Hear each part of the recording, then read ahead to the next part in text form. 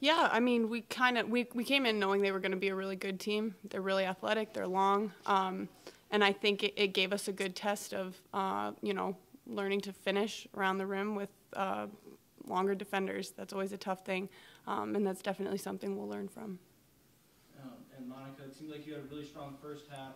Um, what was really clicking for you early on that allowed you to kind of help keep the team in the game?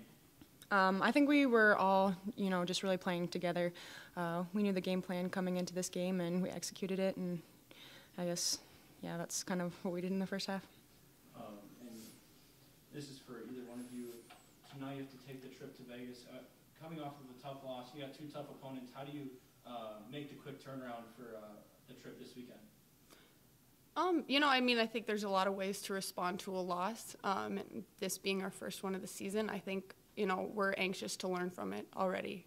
Um, you know, there's a lot of things that we we could have done better this game, and I don't think it's going to be something that you know defeats us, but we can just learn from it. Sure. Well, I thought our young ladies really battled. We didn't really seem to have a whole lot going for us early in the game, offensively for sure. Um, and Missouri State had a lot to do with that. I think they're a very, very good team. It's a great opportunity for us against a ranked opponent, and certainly we're going to learn some lessons from it. Uh, Coach, it seemed like their size kind of seemed to give you uh, some troubles tonight. Um, what, what kind of went into that?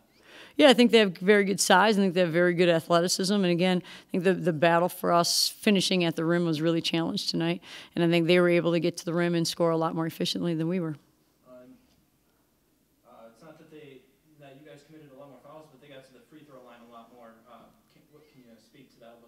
Yeah, that was really tough. And they're able to get around the rim and score more efficiently and get to the free throw line. It's tough to win the basketball game. And, and so we've got to go back and reevaluate and figure that out. And was the size just kind of part of the reason why it seemed like you guys struggled to make a shot inside the arc? Or uh, what kind of went? Well, I think they, they collapsed on us, but I also think we, we got some shots that we normally get, and for whatever reason, they didn't fall for us. Yeah, we have a great opportunity. We've played an incredibly challenging schedule, and and it doesn't get any easier. And so now we have some time, you know, to recover for one day, and then we've got to get prepared for, you know, Ohio State, who's playing extremely well right now and is, is very athletic and has some very good size, and and great opportunity for us to continue to learn. This is why you play good competition, so you can get better. yeah,